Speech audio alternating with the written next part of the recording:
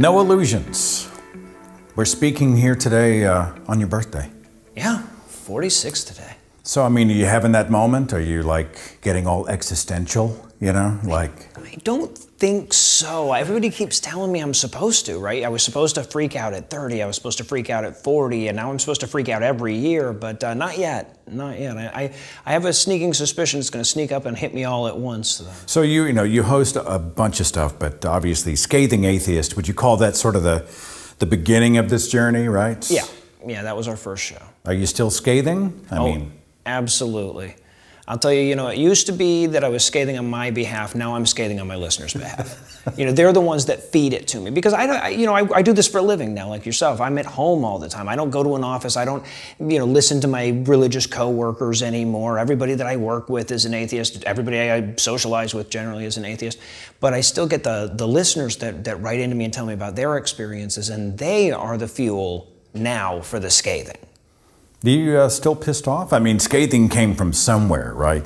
I mean, was that was that it? Like, like screw religion kind of thing, or what? Absolutely. It, it, it's less screw religion than screw religion's effect on society, obviously. And I thought I was starting to calm down. I thought I was starting to get over it about five years ago, and then they elected Trump, and I found a whole new well of scathing. You know. Um, and I realized that it is at least as dangerous as I was afraid it was when we first started doing this. Tell me about the book. What's the title? It's called Outbreak A Crisis of Faith How Religion Ruined Our Global Pandemic. It's funny because I was talking to astrophysicist Dr. Dan Batcheldor. We were actually having breakfast this morning at a convention. And uh, I said, you know, I saw this post on the internet which actually made a lot of sense. You know, you, when you watch a contagion movie, and at the end, they come up with the antidote, and everybody on the planet takes it, and humanity is rescued. we know that's never going to happen now, right? We know that there will be no, hey, everybody will take the, the shot and they will all be inoculated because the hashtag freedom crowd is probably going to wave their flags and banners and, and talk microchips and shit. I mean, what's the book focus on specifically? Well, so the book was written very early on in the pandemic. Over the first two or three weeks, actually, we sat down, me and my partners, Eli Bosnick and Heath Enright, we looked at what was going on in the news and we saw ahead to exactly what you're talking about, right? To the fact that there's going to be massive resistance to this. And of course, because the religious right had put their people in power leading up to it, uh, and people were being put into scientific positions based on ideology rather than scientific credentials, they had already made it worse before it happened. And of course, we could see then that they were in the act of making it yet even worse. So in the book, I argue, and again, this was for the first few weeks of the pandemic, that religion made it worse beforehand, during, and will continue to make it worse after. And, and, the after in this instance was after we had a vaccine, which of course turned out to be exactly the case. Yeah, it's crazy to watch people who, who have such a blase attitude about the basic precautions to help protect their fellow human beings, especially among this Christian love crowd. Ah, it makes you nuts. Uh, you get uh, any feedback from the believers on what you do?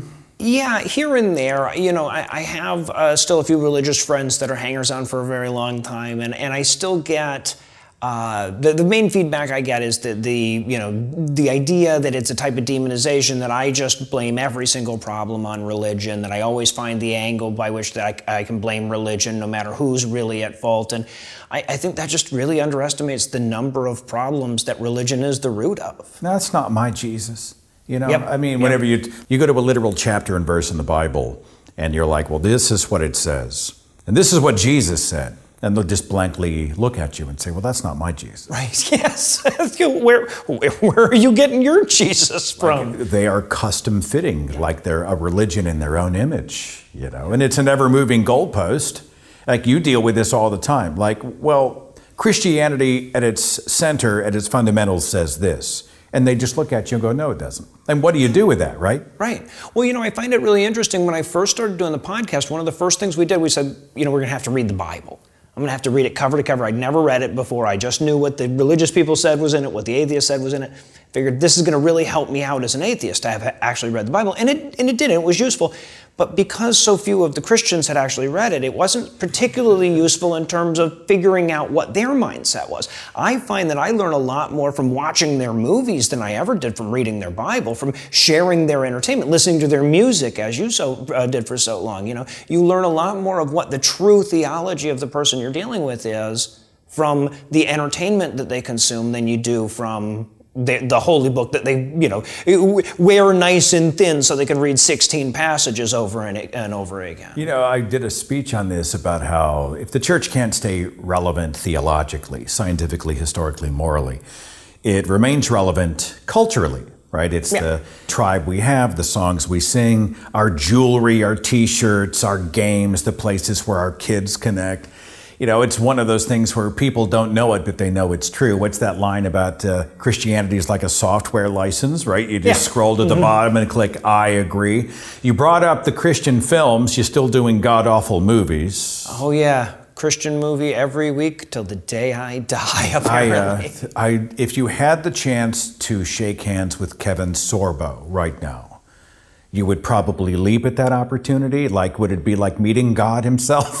Man, you know, I'll tell you, the thing is, is that it, it's funny because one of these days I am going to have that, you know, I'm going to meet Kevin Sorbo and be like, I've seen all your movies, Kevin. And he's going to go, Oh, you're a fan. And I'm like, No, no. I hate you. I hate everything about you. But, uh, but no, you know, the honest truth is that there are a couple of people in the Christian movie universe that I, I would love to meet and I'd love to shake their hands and, and, and, and talk to them about the, the work they do. But there are also some people who are so malicious and insidious in the messages they're putting out in the world, Kevin Sorbo among them, uh, that I just feel like if I met him, it would probably be best if he and I did not speak. You feel that way about David A.R. White? Absolutely, yeah. Like yeah. they're just doing, that. of course, I'm being facetious, like it's not a great admiration. I think it's more like they've been sort of in your zip code and you've seen them right. in the abstract on screen for so long yeah. that like the flesh and blood encounter would be surreal, right? Absolutely. So, I mean, who are some of the other, I don't know, are they Z-list Hollywood types? I've seen uh, several people who I, they seem to have jumped from secular Hollywood to Pure Flix I mean, any names come to mind off the top of your head, or? Well, if you were a big fan of sitcoms in the '80s, a lot of them get ruined for you, right? Like uh, John Ratzenberger, uh, uh, Cliff from Cheers, he shows up in a ton of them. Uh, Harry Anderson from Night Court is in it. Was in a bunch of Christian movies. Corbin Bernsen is in a lot of them. So you, you know, it, it, it's you know, I think for some of these people, it's the same thing as how they get into Christian music, right? They, you know, they couldn't quite make it in secular music. The bar is a little bit lower here. In Christian movies, they're just happy to have somebody that anybody recognizes very often. And so, you know, for some of these people, I'm sure that that's the work they can get. And I really can't begrudge them that. I mean, that's know? the cynic in me, right? I mean, are they a true believer or are they getting paid? Right. Right. Or do they have a gig finally, you know? So. Right. But there are some movies where the messages are so insidious that I can't be that forgiving. You know, look, if you're if you're participating in homophobia, and, in, in, anti-trans bigotry and misogyny, these types of things that, that are very often central to these messages. I can't forgive it because it's a job, you know. Melissa Joan Hart, right? I mean, yeah. the God's Not Dead films, how many do they have to make before the point is made? You know, like at some point, God would have to show up and say, "By the way, I'm not dead." Like, why would He need a film series to? Uh, but you know, the, the plots of these are just bizarre. You know, like Christianity is illegal, so they go into a courtroom and the charges are never really specified. Uh, the vibe is what?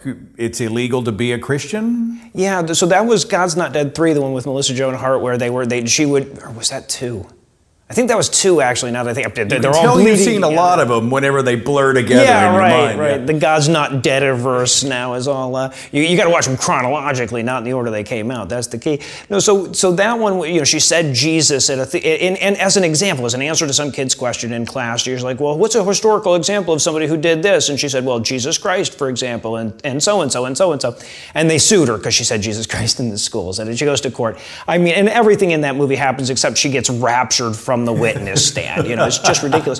But it's gotten so much worse. We're, we're now on God's Not Dead 4, which was released in theaters between a Tuesday and a Thursday in like or, uh, January or something like that. You know, so. I mean, they make them cheaply, and yep. honestly, people are paying. Somebody's paying. I think Yeah. the first God's Not Dead rolled in 60 mil, and you know they made it for about five bucks. Yeah. No, I, I actually happen to have those numbers off the top of my head. $2 million budget for a $64 million worldwide gross. Yeah, I mean it's it's commerce, and we see this in uh, sort of this. Uh, Christian music has what we call God or girlfriend songs. There's, it depends on kind of the genre you're listening to, the type of Christian music, but they like to do this crossover thing where they sing about love and beauty, and yeah, it can be Yahweh or Jesus, or it can be your girlfriend, kind of thing, you know.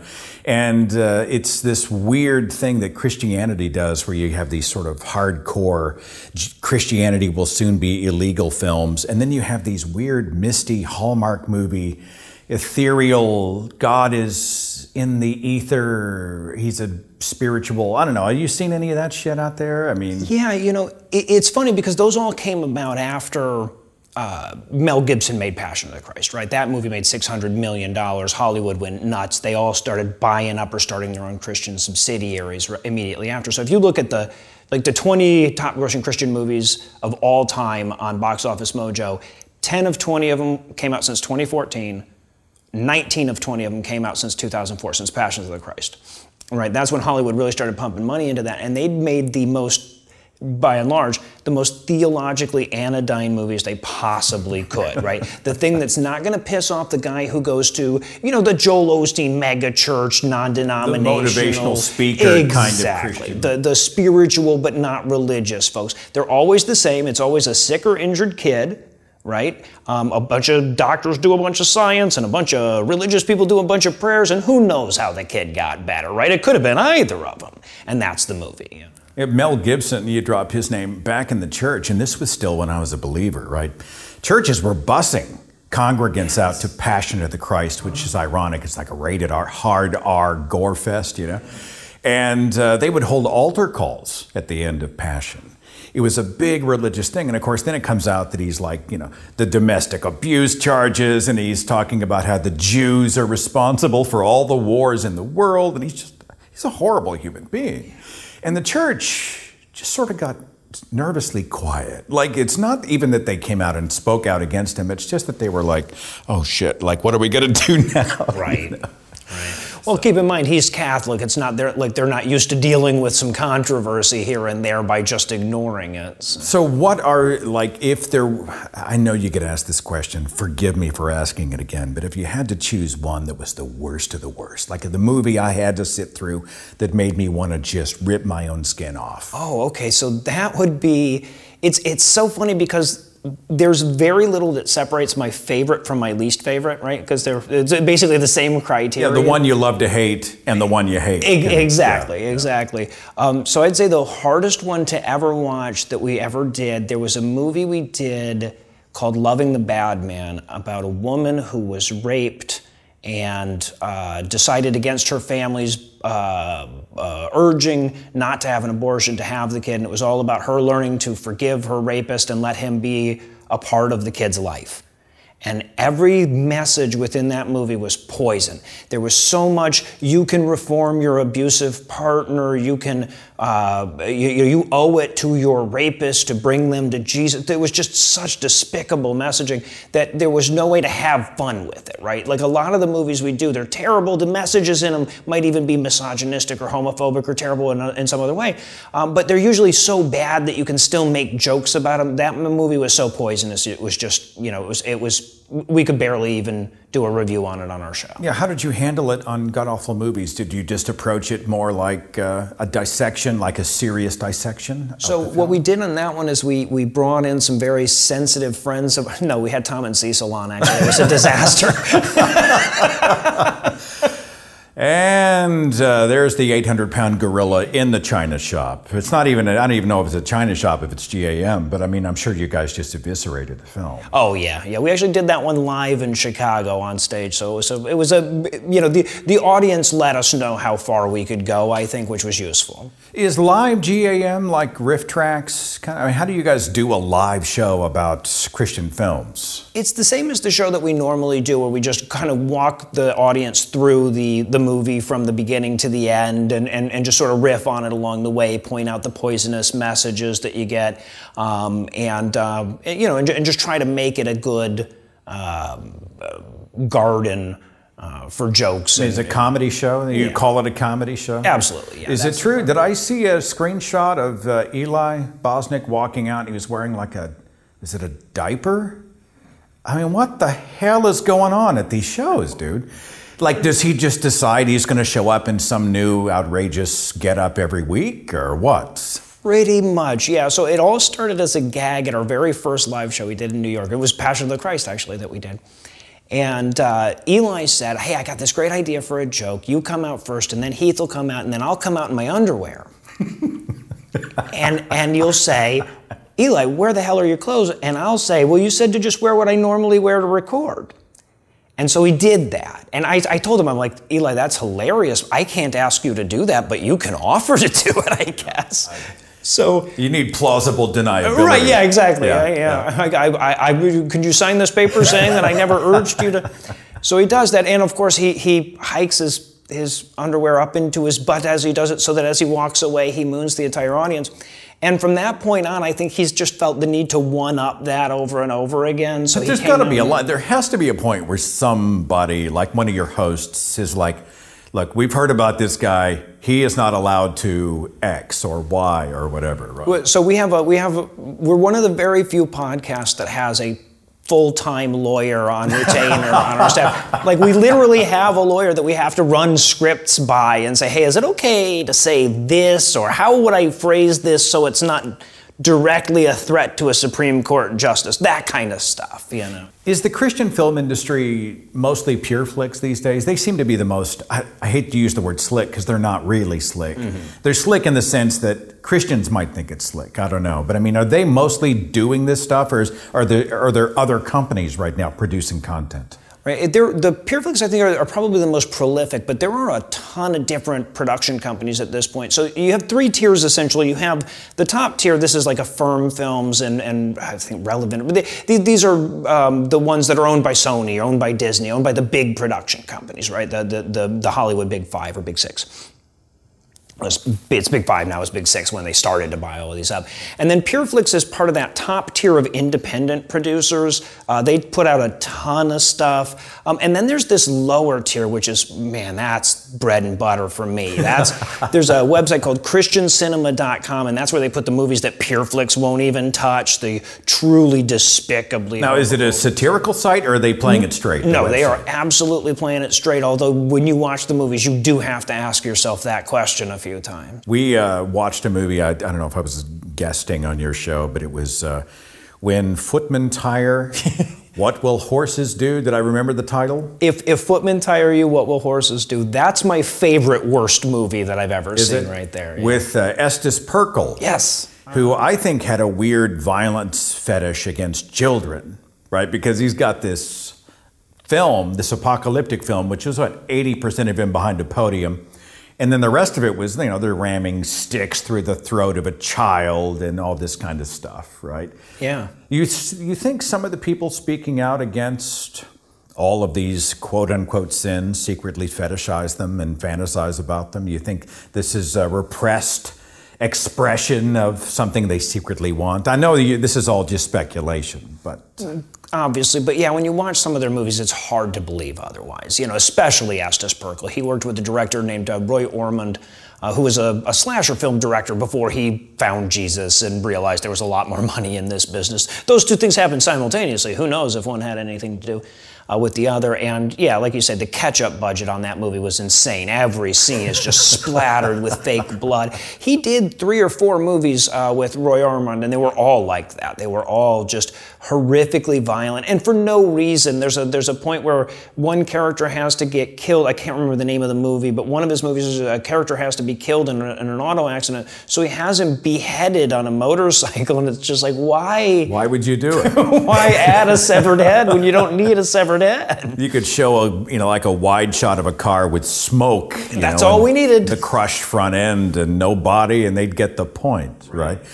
I see that reflected in like these uh, hell houses on Halloween. You ever heard about those? You know, you go in and there's a bloody gang shooting, and here's an abortion scene, and here's a suicide scene, and there's blood all over the walls. I mean, it's crazy. You know, it makes Tarantino look like Sesame Street, but they're doing it to try to shock you into accepting Christ, I guess, or warning you about the apocalypse. Before we wrap it up, any good apocalypse films on your radar? I know Nick Cage appeared in, I guess appeared is the word. It was more like watching a man golf than it was watching an actor act. But the Left Behind film, did you go? Yeah. There? Oh, yeah. I watched that one very early on. I think before we even started again, when, when God Awful Movies was still a segment on Scathing Atheist. Yeah. Um, that one was fun. That was a remake of the trilogy that Kirk Cameron did, uh, you know, 20 years before that. Um, but I think that when, when, you, when it comes to Rapture movies, the classic remains the uh, Thief in the Night trilogy yeah. uh, from the late 60s, early 70s. Um, those movies that traumatized every Christian my age and older. Uh, right here. Yeah. Yeah. Yeah. yeah. Jack me up. Um, you know, those movies were so carelessly horrific and such obvious and blatant nightmare fuel for children. I, I just, I don't think it's been done. I don't, I don't think that there's a better exemplar of that genre. It's one of those things where they freak out about the end of the world, but they're supposed to be looking forward to the end of the world. Right. Right. Christ is coming. I mean, the more shit goes down, the more we know we're this close to the greatest place beyond imagination that we will spend all eternity in joy and bliss and music with the family dog and whatever. And yet they spend all of this time losing their shit about the apocalypse. I mean, logically, it makes no sense, right? Yeah. Um, yeah, I think some of it is, again, the fetishizing that you're talking about, but fetishizing what's going to happen to all those people that didn't listen to him, all of those people that beat him in arguments on Facebook and everything, you know, just that, that revenge fantasy that they get to, that they get to live through when they're talking about the, the rapture. But yeah, then there's also, you know, there's some theologies that say that everybody has to live through the tribulation and then there's the rapture. Some say the rapture comes before the tribulation. And so I think uh, a lot of the movies, for the sake of storytelling, uh, favor the former. Yeah, you got to go through the meat grinder. So now you've got the hero and the villain and conflict and all the plot devices that have to take place in a good story. What's that uh, line about uh, the old Tom and Jerry cartoons? Why doesn't Tom ever catch Jerry? And it's because, well, if he did, there would be no story. Right. Like, why didn't God kill Satan right off the bat? Well, if you do that, there's there's no story, right? Uh, what are you guys uh, doing right now, and what should people look for, and how do they find you? You know, kind of give me a punctuation at the end of this sentence. Sure, yeah. So you can check out uh, The Scathing Atheist, God Awful Movies, The Skeptocrat, D&D Minus, Citation Needed. We do pretty much all the podcasts. Jesus Christ, how many podcasts are you involved with? We're, we're doing five now. Uh, so our goal is to eventually have you every day of the week, but uh, we, are so far we're leaving one for you, Seth. Like, are you, um, like you, I, are, are, you on, are you having to do halluc- Some sort of a, a you know, is this Jolt Cola? Is this five hour energy? You know, whatever else you're doing to try to keep up with it or what? Well, most of it is working with some very talented people. You know, I, I work with Eli Bosnick and Heath Enright, very, both very prolific uh, comic thinkers. Uh, on Citation Needed, I work with Tom and Cecil from the Cognitive Dissonance podcast. So um, I've done, the, the, I, I, work smart. I, I, surround myself with really uh, brilliant people who work really hard, and then I just kind of like grab onto their coattails and hope I can hold on. That's a great group, though, you know, and and they're the kind of guys with no pretense. You could sit down with them and just and just be, you know, and and they really believe in what they're doing, as do you, and I appreciate that. You know, you're you're trying to what's that Ingersoll quote? The more false we destroy, the more room there will be for the true, right? Unfortunately, there's a lot of false out there, and you guys are not afraid to tackle it, even if it means being scathing. So, thanks for your work and your friendship, and happy birthday, brother. Thanks a lot.